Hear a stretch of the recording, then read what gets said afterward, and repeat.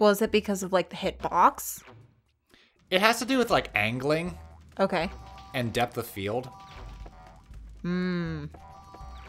The things that I struggle with. Yes.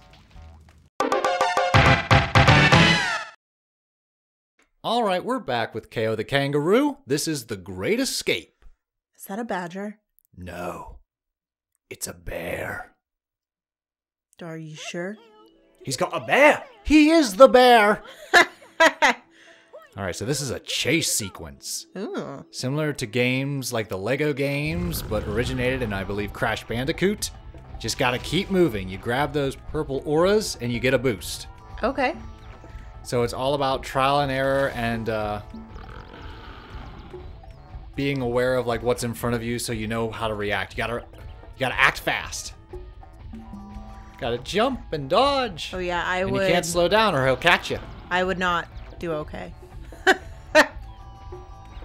What's nice is they're fairly forgiving. Like right there's a checkpoint. So it gives you a chance to. Yep. So like if I were to die, it's just like, oh well, go back to the checkpoint. And the nice thing about Kao the Kangaroo is there's not a live system here. You have unlimited lives. Okay. So you can keep trying. Yeah, that is nice. And like all of these platformers it's, with trial and error, you you learn and you get better. Yeah. The more you learn, I it's just feel like, like- whoop, okay, dodge that. Yeah, jump. I feel like if there's going to be something that's challenging and fast paced and like you can't.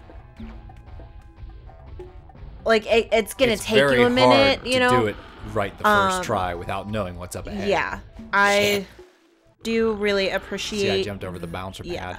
I do really appreciate that. Like it's unlimited lives. Mm-hmm. Like as a bad platformer, Well, it's not even um I'm a bad platformer, not the game is a bad Oh. platformer. I was going to say, um, it's not even this level. The entire game, Kao has just doesn't have lives, okay.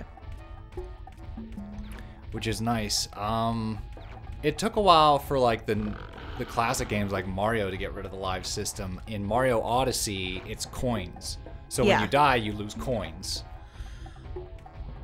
So there's kind of like a fee for death. I think that it, Whereas I- lives well- really are like a day of the arcade. I was just gonna say, I wonder if it's just like transitioning from arcades where it's like you only have so many lives because when you lose those lives, you have to put in more money. Yes. But like they already have your money when you bought a game.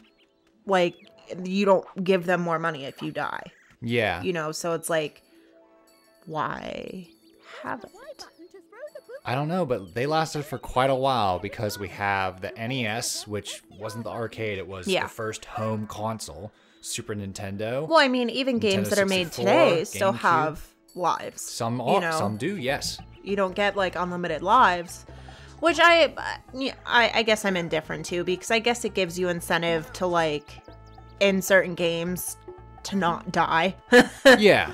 To not be so careless because it'd Um, be like, oh, death isn't a big deal because I just spawn right back here. right Whereas in other games, it's just like, oh god, yeah back to the beginning of the level, like Castlevania. yeah Like you get those three lives and you're sent back, and you're like, son of a bitch. yeah and you're just like i want to die because i died Mm hmm. Kao got boomerangs. Boomerang, it's all coming back to you. all right, excuse me, Mr. B. All right, so now that we've already been through one episode, what are your initial impressions of Kao the Kangaroo? um i think it's very interesting i i i don't fully understand the aesthetic i guess Oh, okay. like like he's just a, a kangaroo like Yeah, a kangaroo with boxing gloves. yeah um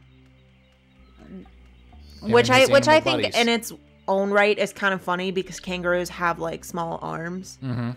like all of their power all of their threat is in their legs so i think it's kind of funny that he would be like a This was just from an era, and I mean, it still goes on to this day of just like, hey, grab an animal, Yeah. make it anthropomorphic. no i think it's a cute there you go. i think it's a cute game i personally I just can't think too hard about it I got you. For me, it's just like nice and simple. Like, yeah it is It's short. It's Um, not too complex. I do like how he skips every Yeah. time he defeats an enemy. I He's like, Like, Woohoo! he's got a lot of personality. I really like that. Um I think it does have some elements of like, well, it's a product of its time. Yeah. Oh, absolutely. Um I think it could be like a really cool remake option. mm-hmm. Yep. Um but I think it still looks good. You know, for the time frame. Come on, buddy. Shoo. There we go. I'm definitely on board with what you said though. Like I wish the box art would be different. Yeah. Well, I showed you the box art Yeah. uh, of the, The PAL Pol- region. The yeah, the Polish. Yep, the Polish one, and I believe UK as well. And I'm just like, yeah, It's so much that's Kao the kangaroo. truer to like what Oh, this shit. game is about. Like I just Oh, I see. Knock down the acorns. There we go. But yeah, it's more accurate to like what the game's actually about. yeah.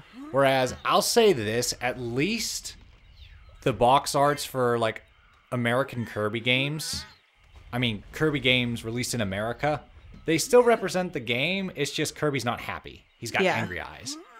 Get ready to meet Mr. Angry Eyes.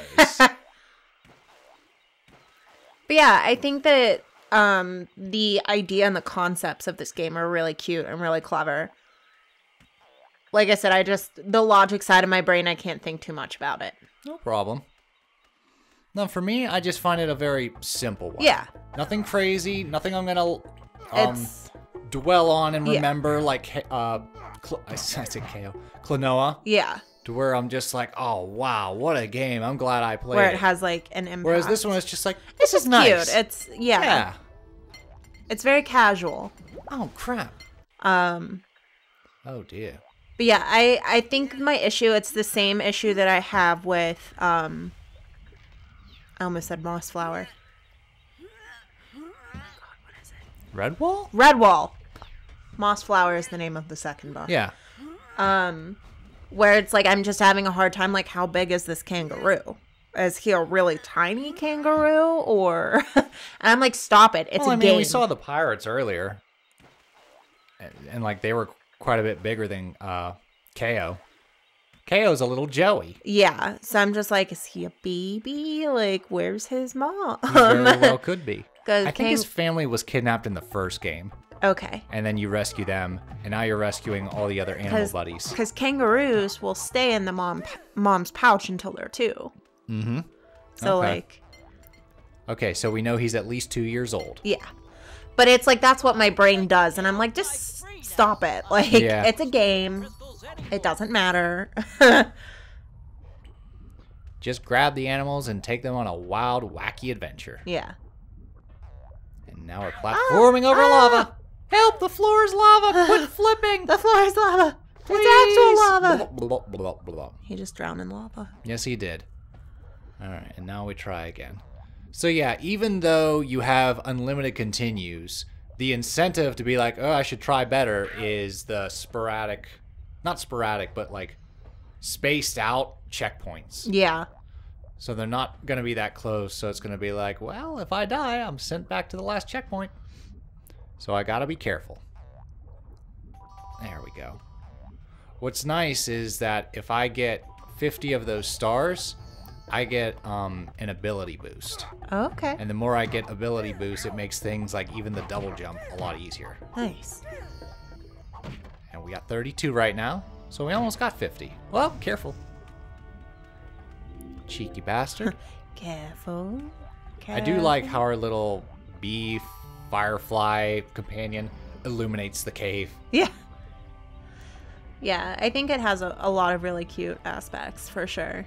Well, like when we get to the end of the game, pay attention to the credits. It's a very small team. I think like aside from the special thanks, there's like a total of like 20 some people Oh, on the wow. team entirely. Okay. So like it's a very small team. Yeah. And like to see them even accomplish this much is impressive. It's got There you go.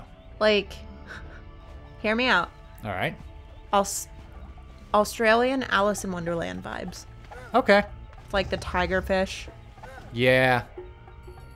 and like the just the sizes Oh and like God. the the running like The TNT stick. Yeah. like the anthropomorphic things. Help! Okay, hang on. I'm pretty sure I gotta like guide the TNT stick. Okay, here we go. Come here, you. No, it detonated.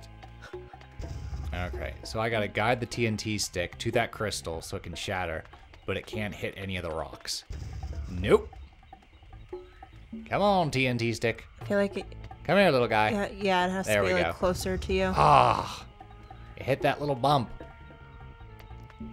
Come on, come on, come on. He exploded. Go, go, go. There it is. Nice. Alrighty, there we go. And that was the end of that level. Next up, the Great Trees. So there's three levels and a boss level. Okay.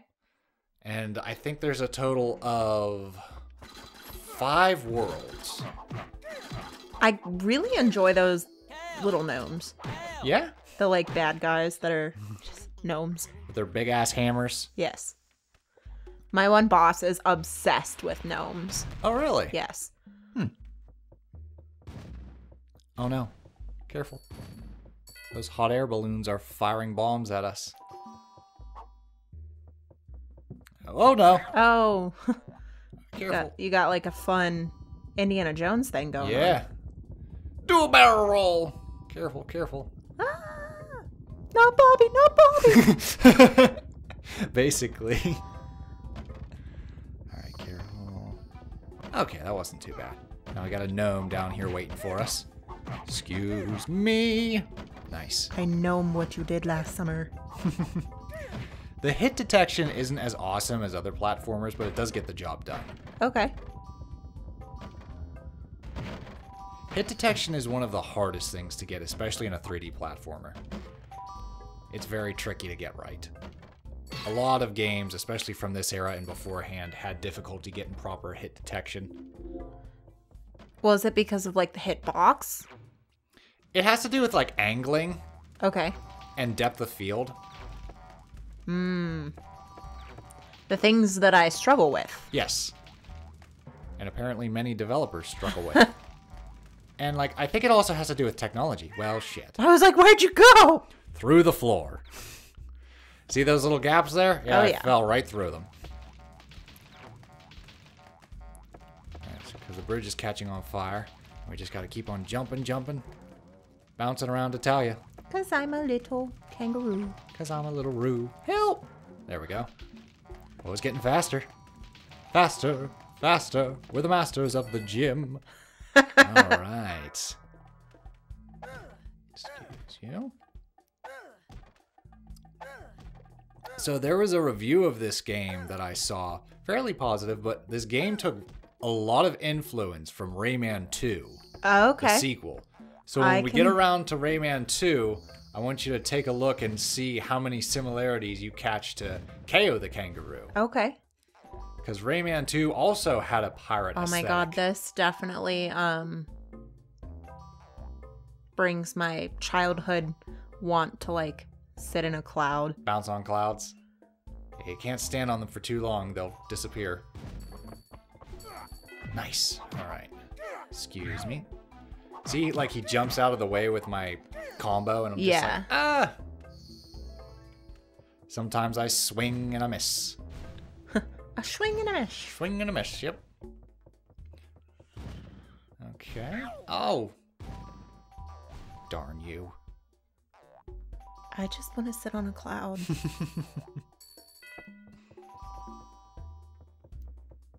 Okay. What else we got here? Another. Eh. Excuse me. You'd think with that giant hammer he'd knock the boards out from under him. I know. nah. Just be like. Sounds like a wily coyote cartoon. Crunch.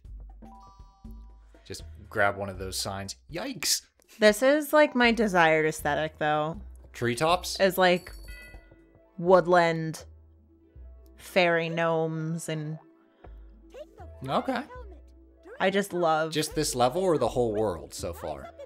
I feel like just this level so far. This level in the treetops. I like this. Flutter. I got a fluttering helmet. Yay. Just grabs him by the head. you tap the A button repeatedly and you flutter for a bit. And it'll take you to the next cloud. Okay. Okay, that symbol up there means I can't adjust the camera. Okay. Every once in a while, the camera is just like, nope, It just does what it does. yeah. This is very common in a lot of older games. Like the camera, sure, it's free, but sometimes they actually get, can get stuck Okay. at certain angles, and you just gotta wait until you like get at a different angle so the camera readjusts. Okay. Okay, nice. Oh, crap. All right. Nine more and we get our power up. Eee! Not the bees! Not the bees! Oh my god. ah! I love Come on, you. There we go. Clunk. Oh, Gotta do it. Gotta get those stars. poor bees. No, they're bad. They're a- mean. I have a bee tattoo. Yes, you do. It's on my knee. Because I'm the bee's knees. See he. Hee hee. Tee hee. Tee hee hee hee. Okay. Whoop. Spider. Yup. We got spiders. Why is always Because of course we do. They'll come down and just spit poison at you. They're pretty quick. But nothing a good boomerang can't take out. Excuse me. Thank you. One shot with a boomerang is all it takes.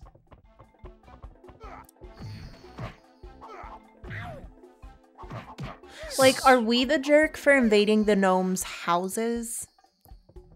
No, because they're in cahoots with the hunter. Okay. And they're tormenting I don't know our why animal that. buddies. Yeah, I don't know why that's always like. It seems to be important to me for unknown reasons. Like, okay, our Third generation. like ever since Trials of Mana, I'm just like, whoa, like we're the asshole just going into their home and killing them. Like, so do you only feel like an asshole because the enemy is cute? no. Or because, like, in some games, like, they're ferocious, but it's just like, yeah, but isn't this still your turf? I because that's what I think of. Because even in like, sorry everybody who's watching all of our uh, playthroughs, but in Ys, Mhm. there are moments where it's like, don't disturb the primordials, like avoid Yeah. them. So there are moments where it's like, listen, this is their home, like just leave them alone. Mm-hmm. and then you can like defend yourself you can distract them to get away Shit. and there are different things that encourage that and you only start to really fight them when they start invading Right. territories that aren't theirs Yeah, when they uh do you do raids and they invade the camp. yeah So basically what's happening here is I have to pop two of the balloons, but not all three. Okay, there we go. Because it lines them all up perfectly. And then I can cross. All right, one more. Excuse me. Thank you. reminds me of the paratrooper ride Paratrooper ride. No, wait, come back. do you remember like Don't shift. it, it wasn't paratroopers um parasol the giant umbrellas Oh, yeah, from uh, Kennywood. yeah Okay. I don't think it's there anymore. But apparently they brought back the old mill. Oh, cool. That's neat. I'm gonna have to check that out. Wait! Wait! All that stuff I skipped. Give me that star. Okay, three more. What will it be? What will it be? What will our power up be? Will we find out on this episode? Oh, this is slick as oh, shit. Oh. Lord. Whoa! Hang on. I don't think we should touch those. Oh. Help! Oh, see, I would have been Ouch. like, okay. I would have been like, oh, I would try to collect them all. no, no, don't collect them. Please don't collect them. Jump, move, grab the heart. Help! ah! Oh dear, oh dear, oh dear. Stop this ride, I want to get off. Let us in, let us in. Let me out, let me out. Let us out, let us out. Careful, careful. Okay. Hi, Kao. You must be tired after your long trip. I'll take you someplace safe where you can rest. All right, Beaver, it's been a long day. All right, so in the next episode, we're going to take on the boss of World 1. Oh, yeah. We'll see you then. Toodles.